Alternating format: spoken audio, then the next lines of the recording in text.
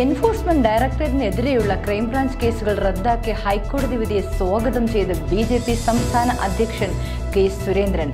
സ്വർണക്കടത്ത് കേസ് അട്ടിമറിക്കാനുള്ള സംസ്ഥാന സർക്കാരിന്റെയും മുഖ്യമന്ത്രിയുടെയും നീക്കത്തിനുള്ള ശക്തമായ തിരിച്ചടിയാണ് ഹൈക്കോടതി വിധിയെന്നും കെ സുരേന്ദ്രൻ പ്രതികരിച്ചു. കേരളം ഒരു സ്വതന്ത്ര രാജ്യമാണെന്ന പിണറായി വിജയന്റെ നിലപാടിനേറ്റ കനത്ത തിരിച്ചടിയാണിത്.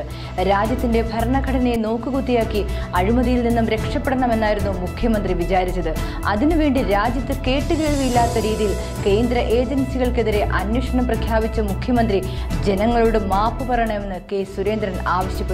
ക്രൈംബ്രാഞ്ചിന്റെ എഫ്ഐആർ ഹൈക്കോടതി തള്ളിയത് ആഭ്യന്തരമന്ത്രി കൂടിയായ മുഖ്യമന്ത്രിക്ക് മുഖമടച്ചുള്ള പ്രഹരമാണ്. അമിത അധികാര പ്രയോഗം നടത്തിയ മുഖ്യമന്ത്രി പരിഹാസ്യ കഥാപാത്രമായി മാറി. ബി ജെ പി നേരത്തെ തന്നെ ഇത് ചൂണ്ടിക്കാട്ടിയിരുന്നു. ഇത് തന്നെയാണ് ഇന്ന് കോടതിയും പറഞ്ഞത്. ഭരണഘടനയും ജനാധിപത്യവും ഒന്നും തനിക്ക് ബാധകമല്ലെന്ന പിണറായിയുടെ ധാരണ ഇനിയെങ്കിലും അവസാനിപ്പിക്കണം.